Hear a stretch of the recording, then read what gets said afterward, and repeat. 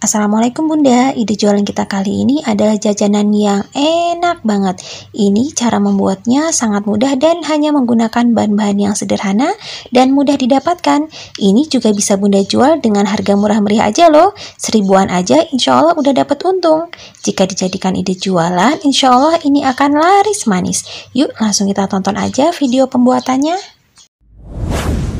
Pertama-tama, Bunda siapkan beras ketan putih sebanyak 500 gram. Ini sudah dicuci bersih ya. Dan ini nanti akan kita kukus.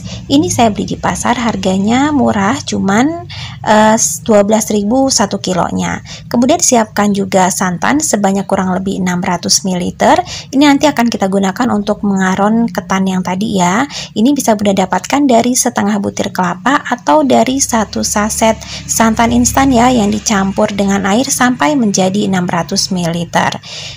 Kemudian siapkan juga bawang merah yang sudah diiris tipis dan ditumis. Ini nanti akan kita campurkan di aronan ketan ya. Kemudian untuk bumbunya saya gunakan juga satu batang serai yang sudah diambil putihnya aja dan dua lembar daun salam. Tapi kalau nggak suka pakai bumbu ini boleh di skip ya. Ini hanya untuk membuatnya lebih gurih aja.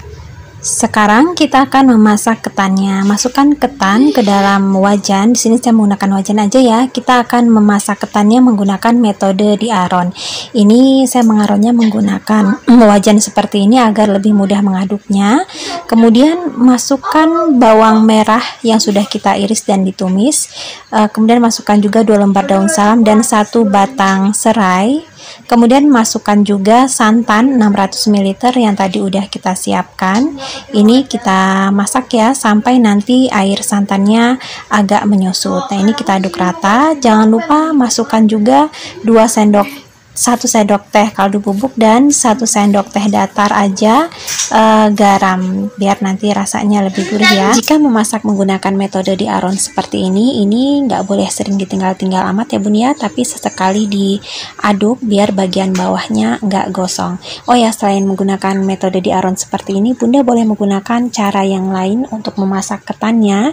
Misalnya dengan menggunakan rice cooker yang lebih praktis ya atau dengan cara uh, metode disiram. Oh ya sebelumnya Bunda sudah menyiapkan panci kukusan ya yang diberi air dan airnya dididihkan. Jadi kalau misalnya nanti airnya udah mengering dan menyusut, ini bisa langsung kita masukkan ke dalam panci kukusan dan tidak perlu menunggu terlalu lama.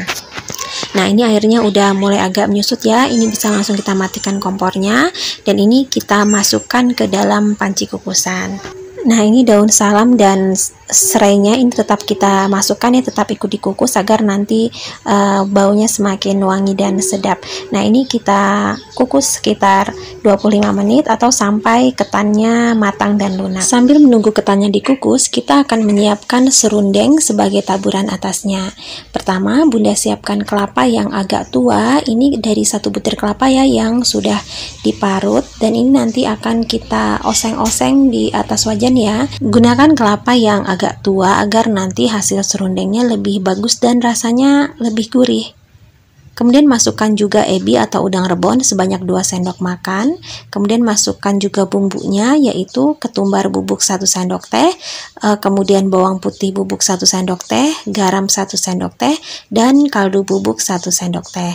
Nah ini kita masukkan semuanya sekaligus dan ini kita aduk-aduk dan kita oseng-oseng sampai kelapanya berwarna kecoklatan. Ini di awal, ini masih agak basah ya bunda, bunda boleh menggunakan api sedang, nggak usah kecil-kecil amat karena ini masih basah. Yang penting uh, sering diaduk-aduk aja kelapanya. Nah pada di awal memang kalau bunda menggunakan kuali seperti saya wajan seperti saya ini yang bukan teflon ya ini memang di bagian dasarnya akan agak lengket tapi nggak apa-apa karena nanti kalau misalnya kelapanya udah agak kering ini nggak akan lengket lagi. Jadi tetap aja diaduk-aduk jangan terlalu ditinggal-tinggal. Nah nanti kalau misalnya kelapanya udah agak mengering dan berwarna kecoklatan ini apinya boleh agak dikecilkan ya. Jadi jangan jangan besar-besar amat. Oh ya bunda boleh menambahkan juga bumbu-bumbu aromatik lainnya seperti misalnya daun jeruk ataupun daun salam dan sejenisnya biar nanti hasilnya lebih enak dan wangi. Tapi karena saya lagi nggak punya, jadi ya saya pakai bahan yang seadanya aja. Nah ini sudah berwarna kecoklatan seperti ini. Ini kita aduk terus ya. Oh ya di sini saya serundengnya konsepnya itu manis, asin dan pedas. Tapi untuk gulanya dan cabenya belum saya masukkan nanti di akhir aja biar gula dan cabenya nggak gosong terutama cabenya ya karena saya nanti akan menggunakan cabai bubuk aja biar lebih praktis. Nah ini serundengnya udah berwarna kecoklatan sudah garing dan ini sudah cukup ya. Ini bisa kita matikan api kompornya. Kemudian bunda boleh menambahkan cabai bubuk. Di sini saya menambahkan satu sendok makan aja. Kalau bunda lebih suka pedas boleh ditambahkan cabai bubuknya. Kemudian ini kita aduk rata. Dan saya juga menambahkan gula gula pasir biar dia agak manis-manis gitu ya sebanyak 2 sendok makan. Uh, sebenarnya ini kalau mau lebih hemat gulanya ini di blender dulu karena kalau di blender itu dengan sedikit gula aja itu udah terasa manis. Tapi kalau nggak di blender itu akan agak boros gulanya. Kita perlu banyak gula agar dia lebih manis. Nah ini sudah ya. Ini bisa kita masukkan ke dalam wadah tertutup seperti misalnya toples. Dan jangan ditutup dulu sebelum dia benar-benar dingin agar nanti uh, garingnya tahan lama.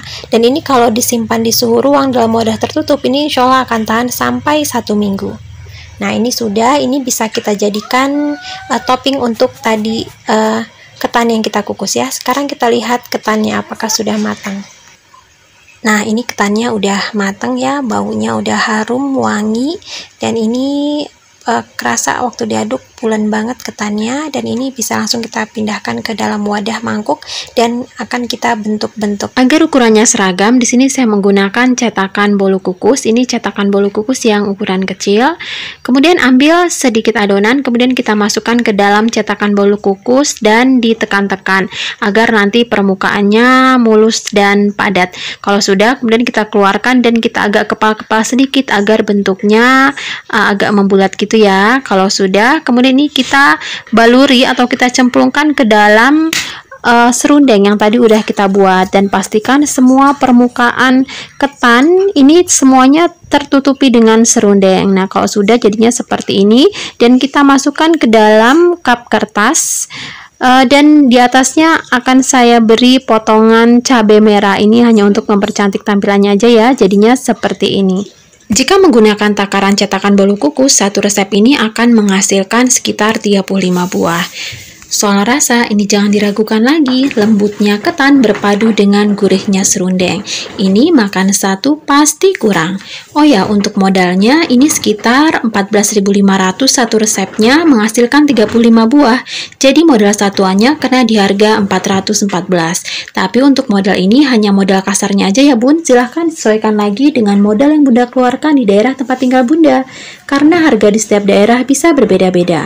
Terima kasih ya sudah menonton video videonya. Semoga bermanfaat. Wassalamualaikum warahmatullahi wabarakatuh.